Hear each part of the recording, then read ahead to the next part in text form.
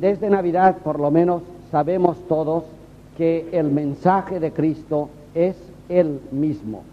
En Cristo el mensaje y el mensajero son la misma cosa. Normalmente cuando alguien manda un mensajero, manda un mensajero con un mensaje y no coinciden mensaje y mensajero. Pues el mensajero puede ser una cosa y el mensaje puede ser otra, evidentemente, es lo normal. En cambio, cuando Dios nos mandó mensaje, no nos mandó un mensaje escrito a través, traído a través de un mensajero, sino que el mensaje es el mensajero. Eso no debe perderse nunca de vista. Cristo no enseña solo ni principalmente cuando enseña. Cristo enseña cuando es. El ser de Cristo es la revelación de Dios. Luego la enseñanza de Cristo y los milagros que tanto leemos, por ejemplo, en el Evangelio y que nos conmueven, son secundarios. Y por esto tantas veces los cristianos que leen literalmente el Evangelio y conocen paso a paso los milagros y la vida del Señor y sus palabras, pierden de vista el verdadero cristianismo porque solamente cogen el mensaje sin darse cuenta de que el mensaje, donde es mensaje de verdad, es en el mensajero y no en lo que dice el mensajero. Por esto hoy se dice en teología que si no se hubiesen escrito los evangelios y Cristo hubiese llegado a nosotros de una forma viva, por ejemplo, se podrían haber perdido todos los evangelios escritos y el mensaje no habría sufrido si Cristo hubiese llegado a nosotros. Por eso, aquellos que convivieron con Cristo, que no tenían evangelios que leer, que no estaban escritos, solamente al topar con Cristo, toparon con la epifanía, con la manifestación de Dios. Luego Cristo, si no hubiese dicho nada, solamente con haber sido, tendríamos todo lo que tenemos. Esto está muy bien dicho y es muy fácil de decir, pero es bastante difícil de entender. No estoy hablando del auditorio, estoy hablando del locutor. Es difícil de entender porque la mente humana no está acostumbrada. Ahora empezaremos a tropezar a partir de hoy con unos apax. Si esta palabra me sale alguna vez, no es alarde de griego, pero se dice mucho, ¿verdad? Apax con una H delante. Significa una vez en griego. Y se usa mucho en literatura en general y en el Evangelio para decir cosas que solo suceden una vez. Esto es un apax en la vida de Cristo. Esto es un apax en mi vida, puede ser, por ejemplo, un hombre que lleva una vida correcta y santa y de golpe mata al vecino Luego lo arregla y sigue una vida correcta y santa, pues ha tenido un apax, una cosa inexplicable en su vida, un apax, una vez. No forma línea con su conducta, no está encadenado con nada, es un apax. Bueno, pues si me sale la palabra, reténganla porque conviene que el vocabulario, en griego esto se escribe así. Una vez. Bueno, pues ahora empezaremos a topar en la vida de Cristo, digo en la vida también insistiré más en la vida que en la enseñanza, puesto que la enseñanza de Cristo es enseñanza de Cristo y la vida de Cristo es vida de Cristo y enseñanza de Cristo. Luego, si Cristo hubiese salido mudo y hubiese estado con nosotros como estuvo, tendríamos su mensaje, porque su mensaje, que no habría dicho nada, estaba mudo, su mensaje es su ser. No pierdan esto de vista. Y en este ser hay unas actuaciones que aparecen como no formando cadena, como apax, como, de golpe, como fogonazos, que no son un rayo, es un fogonazo. Y hay que entenderlos muy bien porque ya siendo apax son una explicación y una revelación. Toparemos pues con apax en la vida de Cristo y habremos de interpretarlos. Pero de momento partamos del núcleo que explicábamos antes de la Navidad. Decíamos que Dios el Padre quiere manifestarse al hombre. Se llama la revelación, o también epifanía. Epifanía en griego es manifestar, es igual la epifanía que celebramos en la manifestación de Dios. Y en mitología justamente hay epifanías de los dioses, que son apariciones, manifestaciones de los dioses. Muy bien, Dios ha creado al hombre, esto ya no nos interesa, ya lo sabemos, pero en un momento dado ha dicho, me le quiero revelar. Fíjense que para nosotros esto es importante. Eh, hace dos días estábamos hablando en una tertulia en Palma y yo no sé qué dije, supongo que alguna barra basada de las mías, ¡pum!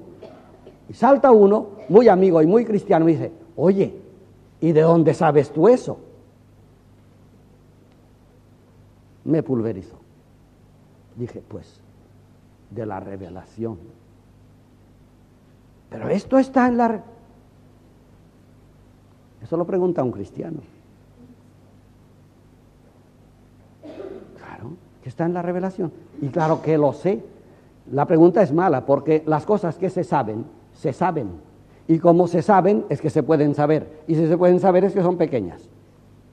¿O no? Claro.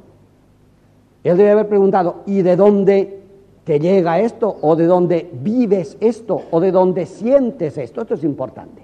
Sentir es vital en el hombre. Saber es poco importante. Un tonto puede sentir de Dios como cuatro mil sabios.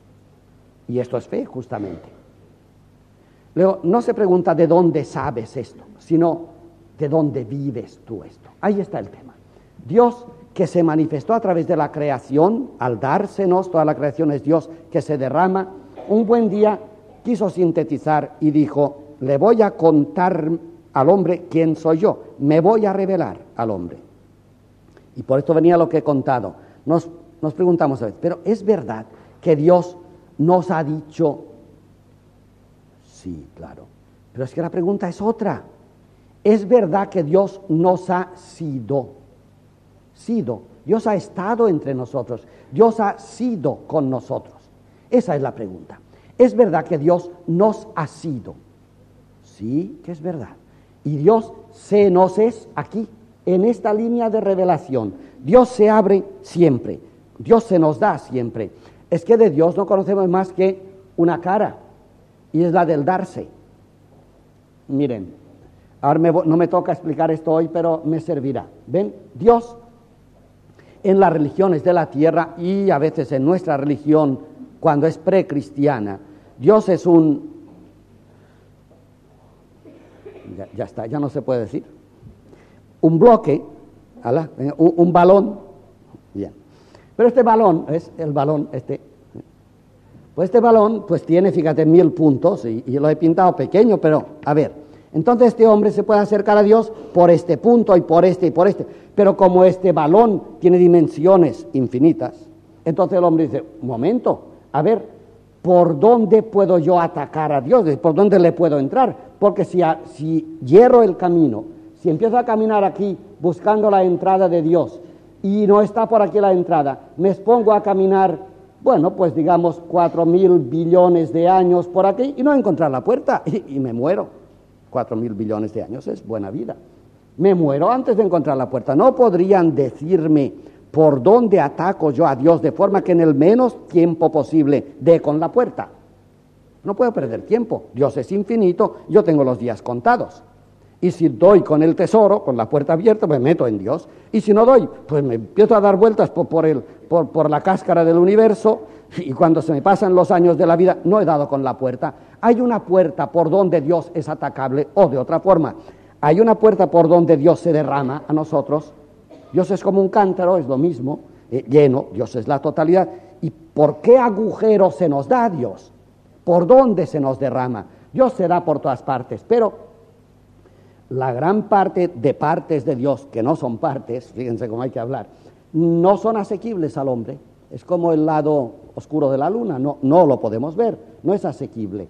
¿Por dónde es asequible Dios? Pues por aquí, por este agujero. ¿Y cuál es este agujero? El agujero por donde Dios se nos da.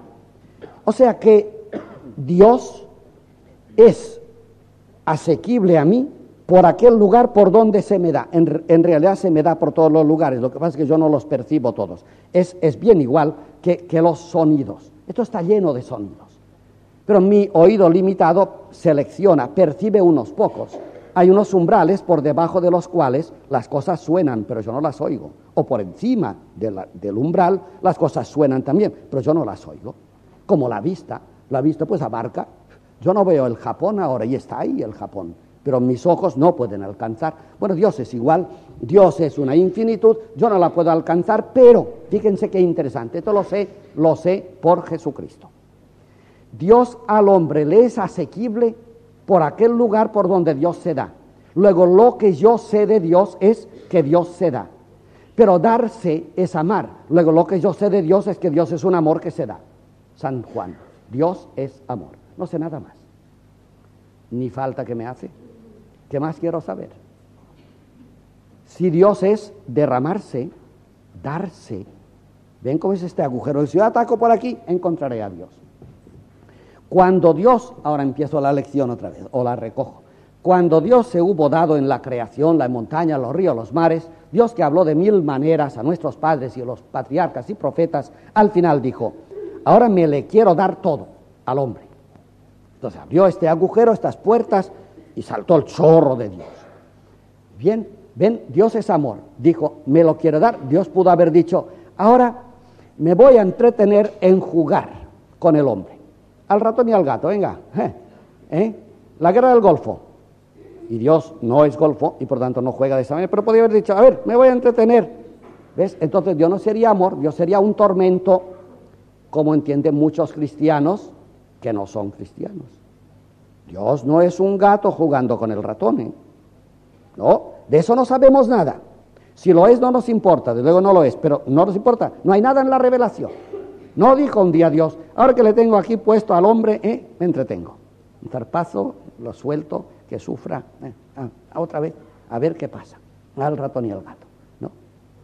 Cuando Dios dijo, me le voy a dar, dijo esto, me le voy a dar, no me le voy a comer, no me le voy a jugar, me le voy a dar. O sea que la relación de Dios con el hombre, por decirlo así, la relación es al revés, es del hombre a Dios, la relación de Dios con el hombre es una dádiva, una entrega.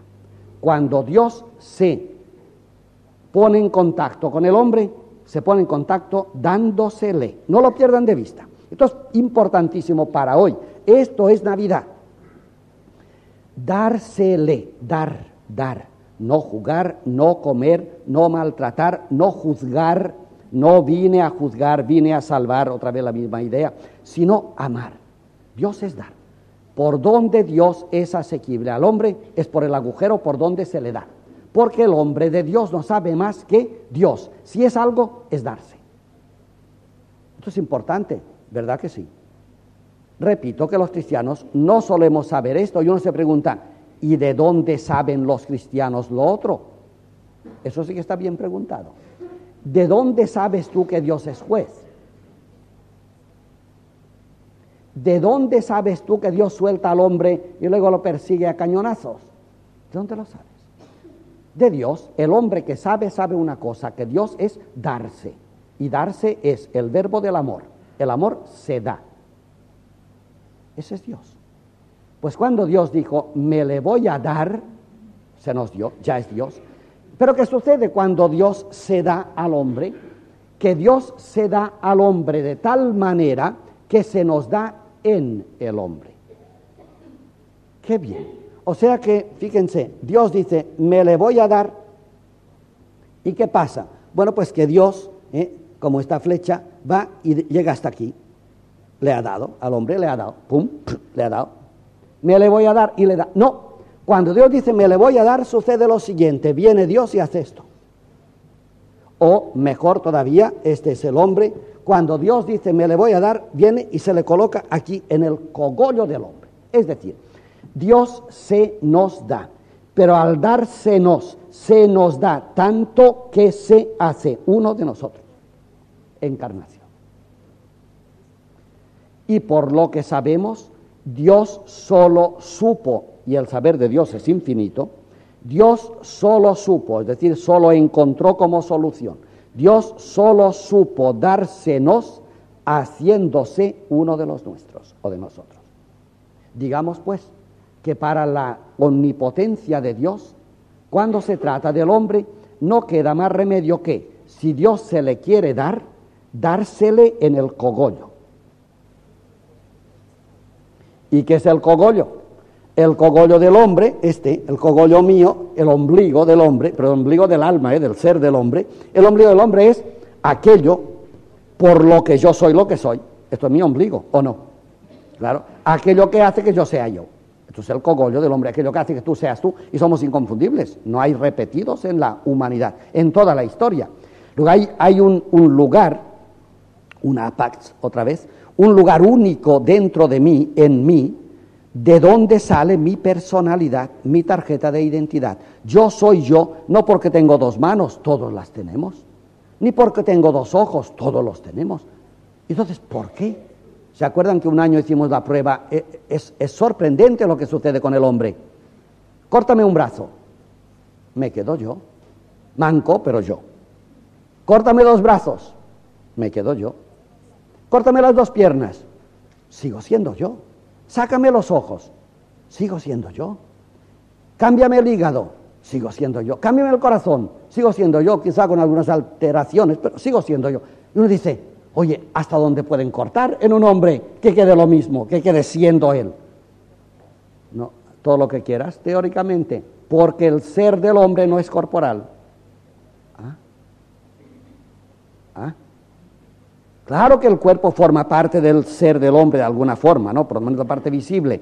Pero el hombre es en algún lugar íntimo algo irrepetible que hace que él sea lo que es. Bueno, pues en este lugar, donde yo soy el que soy y donde nadie es como yo, en ese lugar se sitúa Dios cuando se me da. Otra idea importante, de la Navidad otra vez. Si en el hombre lo importante fuera la cabeza o los ojos o las manos, entonces Dios se nos daría en las manos. si Dios me quiere alcanzar en lo importante, pues se me da en las manos y yo tengo en mis manos a Dios, o mis manos son de Dios. O se me da en el corazón, que ya es más íntimo, ¿no? Entonces mi corazón sería de Dios o como Dios. No, no, Dios se me da en aquella profundidad donde a veces ni yo mismo alcanzo a bajar, donde nadie ha estado todavía, he aquí la virginidad del hombre, donde nadie ha estado todavía, y en estas profundidades donde yo resueno únicamente, donde hay cosas que suenan y cosas que se rechazan, en esta profundidad mía, ahí se coloca Dios, porque para Dios no hay otra forma de dárseme, dárseme Él, que cogerme o que entrarme en la intimidad más profunda de lo mío. Con lo cual, cuando Dios se revela al hombre o cuando Dios, que es amor, se da al hombre, no se le da de forma que le queda una verruguita aquí, sino que se le da en el interior de forma que constituye aquel lugar donde el hombre es lo que es. Luego, si Dios al dárseme se me sitúa en aquel lugar donde yo soy lo que soy, aquí sucede una cosa rarísima. Si Dios se me da, Dios ocupa aquel lugar donde yo soy lo que soy. Luego, si aquel lugar donde yo soy lo que soy está ocupado por Dios, en aquel lugar donde yo soy lo que soy, ya no soy yo, sino que es Dios. Me ha anulado. La devastación. Que Dios no venga porque yo quiero ser yo. ¿eh? Señor, que me quede como estaba, decía aquel inválido que rodaba para abajo. Señor, que me quede como estaba. No, no vengas, no, no me asoles. No, ahí está otra vez el otro tema, también de la Navidad. Dios es que no puede colocarse más que en aquel lugar donde yo soy lo que soy. ¿Por qué? Porque Dios es ser y los seres se tocan. Entonces, aquel lugar donde yo soy lo que soy es el lugar donde Dios se mete cuando se me revela. Con lo cual, yo ya no soy el que era, sino que soy Dios. Termina la frase que dirá así. Con lo cual, yo no soy el que era, porque lo que era no era yo, y soy Dios porque lo que yo soy es Dios. Eso es diferente. Todo lo contrario de asolar, ha sublimado. Con lo cual, cuando Dios al darse al hombre se le da y se le mete en el corazón, le está diciendo que el, corazón es el cogollo, ¿eh? que el corazón del hombre, aquello que hace que el hombre sea hombre, es Dios. Esto lo vimos en Calcedonia. Calcedonia nos dice que cuando Dios se reveló, se hizo hombre. Este es Jesucristo, pongamos a Cristo, pero ahora no pierdan de vista que este Cristo es el primero de los hermanos. Todos nosotros somos como Cristo. Él nació hecho, nosotros nos vamos haciendo, pero es lo mismo. Lo mismo y diferente, evidentemente, pero lo mismo en cuanto a la explicación. Este Cristo, Jesús que nace, es Dios, esto es Calcedonia, no lo pierdan de vista, y hombre. ¿Se acuerdan? Pero dijimos, esto es importante, que Calcedonia dijo, y que esto, este Cristo que es Dios y hombre, Dios más hombre, esto está unido en una realidad que es una sola persona. O sea, que no es que Cristo es Dios más hombre, ya está, esto es Cristo. el ser, este, el rollo, eh, eh, el círculo es Cristo, muy bien, y es Dios y hombre, de forma que yo puedo coger a Cristo y si tiro de Dios y del hombre, se rompen, y aquí queda Dios y aquí queda el hombre. Esto pensaban antes de Calcedonia, esto es herético. Una vez que Dios se hizo hombre, quedó unido Dios y hombre para siempre, de forma que esto no es D más H, Dios más hombre, es esto. De tal manera que Calcedonia proponía que en vez de poner un más, este más sería ahí la conjunción copulativa, debería decirse oti. Cristo es Dios porque es hombre. Hombre, no me digas, no, vete aquí verás. ¿Dios qué es? Dios es para nosotros darse. ¿Cuál es aquel lugar donde Dios se da? El hombre, en este caso Cristo, que es hombre verdadero, es Cristo. Ah, luego, donde Dios es Dios de verdad, como Dios es darse, donde Dios es Dios de verdad, es donde Dios se da. ¿Y no donde se da? En el hombre. Luego Dios es Dios de verdad en el hombre. Luego Dios es Dios porque es hombre. Perfecto. Y al revés. Y Cristo es hombre porque es Dios. ¿Por qué?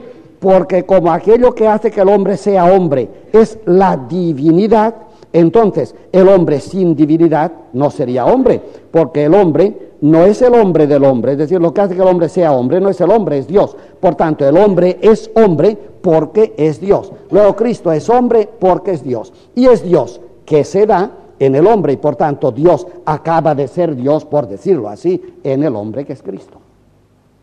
Con lo cual sucede que en Cristo Dios y hombre son la misma cosa, una sola